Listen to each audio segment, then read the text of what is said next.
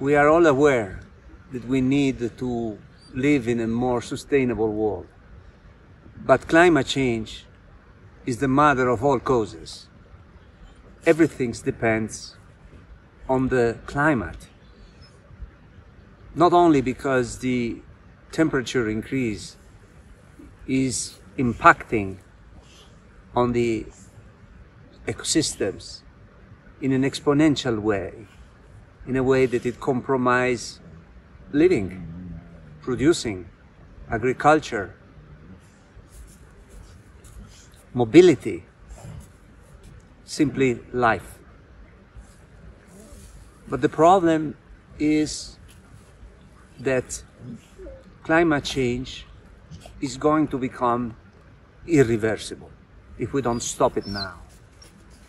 COVID has stressed how interrelated life, all forms of life are, and how crucial it is that we become actors of regeneration. We need to restore the balance of the ecosystems that our lives depend on. Our state of well-being is directly related to the well-being of our planet, on regenerative economy, and on climate action. So we have been talking since uh, many decades now about sustainability, which uh, is about satisfying our needs without compromising the future ones.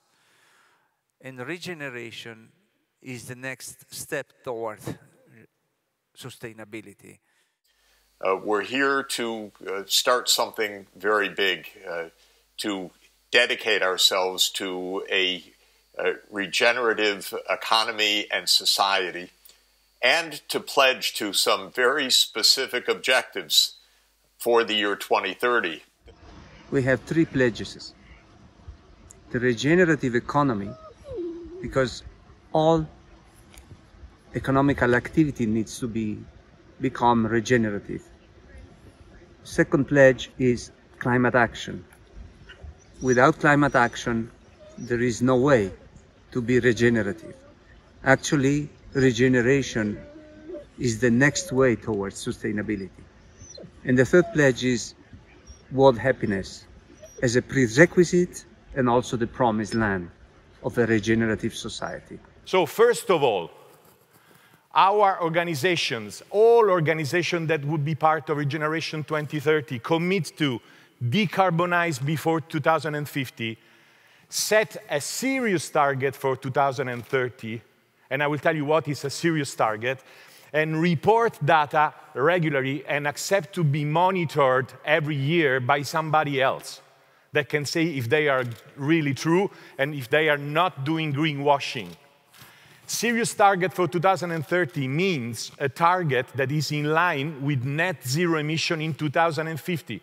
We cannot say now we will not decrease, but we will do it in the final 10 years. No, we want to see the trajectory, okay? Something that is really uh, in line. So we need standards. It is important that our institutions, particularly as a European Union, uh, give us a, a precise uh, roadmap. We need clarity of the rules of the game. Otherwise, we cannot be competitive.